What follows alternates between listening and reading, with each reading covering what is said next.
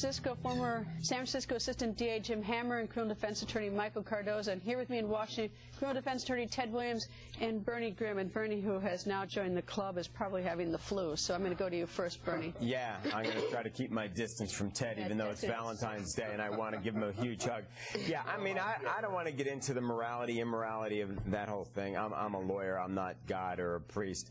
But the problem is, he's saying, well, he plied him with liquor or drugs he still made the statements. And the fact that I didn't find this statement so immoral as the fact that what he did was he looked at some woman who was obviously suffering and in a very bad medical state and then got up on the beach and just sort of walked away, which or, I find. Or, or called his friend to dump her body. Yeah, How about I that mean, one? that's just so troubling. And I don't think you can get around the fact that he said it. It doesn't matter whether he was high or not. So Ted? Let me just be candid. I am terribly angry tonight, and I am not angry at the Court of Appeals down there. There are wonderful people in Aruba. So who are you mad but at? what happened is the police department up there down there screwed this investigation up at, in the beginning, and we now know that they have nothing. Sometimes law enforcement officers keep things very close to their vest. They have nothing in this case because if they had something and they could have given this Court of Appeals something, I think they would have rearrested him.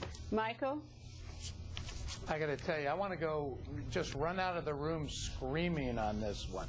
Joran, you're getting away with something here, and that's tragic. On an intellectual level, I certainly understand why the court did this.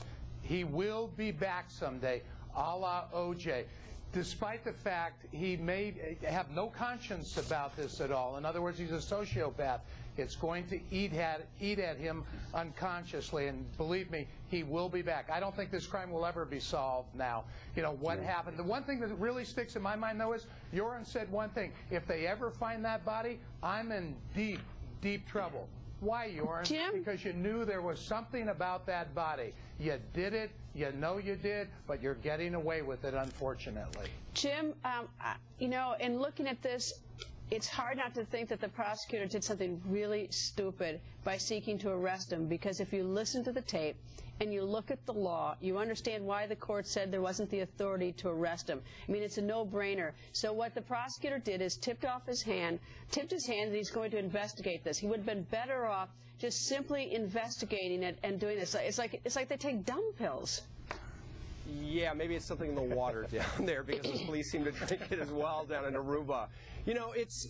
I, I'm sort of speechless, except to say that, that what we haven't talked about is the devastation that this prosecutor in part has caused by this fumble again on, on Natalee's family. And beyond everything else he did about bragging about dumping her in the bay, he called a dead young woman a whore. I mean, those words will, will ring in their their minds, in their in their memory until they die. This this dead girl, we don't know exactly what happened to her, has been marked as a whore and a, a, a the B word and all the rest of it. That guy doesn't have pangs of conscience, Greta. But now that the prosecutor did what you said, that is, he he tipped his hand.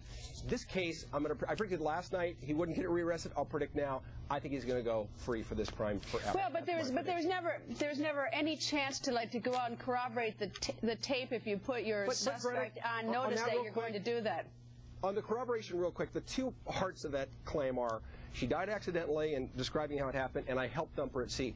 I don't believe you could ever corroborate that except for the Dory part, but he could have been lying about the part. So we will never know, I believe, if his But story you had no is chance. true or But, false. you know, but you have no I think chance you to if can't. you, if you tip off, if you tip your hand off. I, I think cor- uh, corroborating how she died on the beach is impossible because even if we find the body, it won't be you the No, clues. That's I'll tell you, it's, I'll tell you, it's not impossible. It's because if he's talking on this tape, he's talking someplace else, right, Bernie? That's I mean, yeah, I mean, the thing is, uh, and what Greta said a couple moments ago, I think if he's starting to make these statements, you just lie in the weeds and, and perpetuate it and let him keep making statements over the course of six Now or he- seven now months. But, but Now- but now he's- now it he's gonna- happen.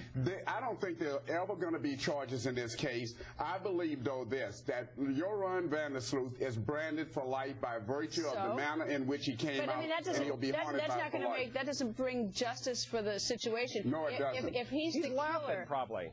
If, if he's the killer, she- the prosecutor should have been lying low and wait for him to say it to somebody else and built the case that way instead of doing this stupid act of trying to get him arrested. When you look at the transcript and you look at the law, it was, you know, it was clear that the, I mean, it's pretty obvious. You're absolutely, Greta, you're absolutely right. They should have laid low and have been quiet about this. But then you're going to get into the legal issue of if they did that, would someone like this then be a police agent because you're condoning something like this? I know, So you then look- you get into, but, but you're right. know, he- he's they should have just shut up. They would have had, they would have had a better chance of convicting this kid. Believe me, I, But a guy it's like this, this ever guy would have been talking. This He guy would have been talking. He used to certainly would have, but All it's over. Oh, panel, I agree.